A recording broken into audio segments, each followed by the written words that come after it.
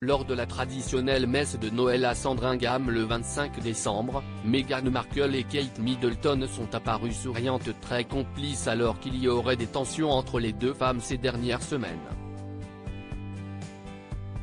La reine Elisabeth II ne serait pas étrangère à cette bonne ambiance.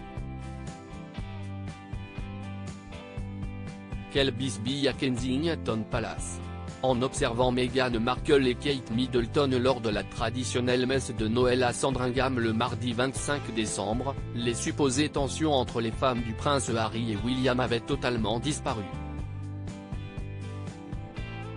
Sur le parvis de l'église Saint-Marie-Magdalène, les deux duchesses ont échangé des sourires en plaisantant ensemble. Une scène qui n'a pas échappé aux photographes ni aux fans de la famille royale britannique, massés devant le lieu de culte situé à Sandringham à quelques kilomètres de la résidence secondaire de la reine Elisabeth II.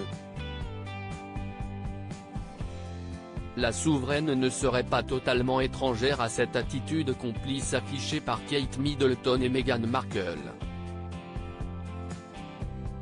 Selon les informations du Daily Mail, Elisabeth leur a demandé de faire la trêve en ce jour de fête, d'apparaître unis et de mettre de côté leurs différends.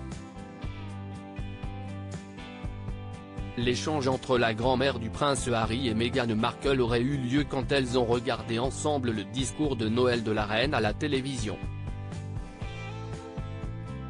Mission parfaitement accomplie par la duchesse de Cambridge et la duchesse de Sussex.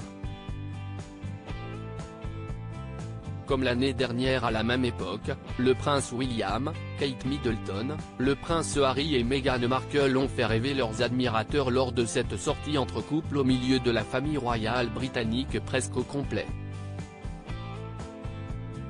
Pas de malaise après la messe, Meghan Markle et Kate Middleton sont allés à la rencontre de leurs fans.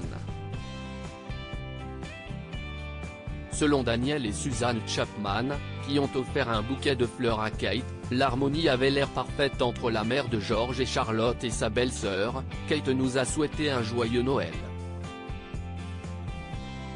Nous nous sommes dit après coup qu'il n'y avait pas l'air d'avoir de l'animosité entre elles comme on en avait entendu parler. Ils étaient tous en train de rigoler et de blaguer. Il n'y a eu aucun malaise. Tout le monde était détendu. De quoi calmer les rumeurs autour de leur supposée mésentente de ces dernières semaines.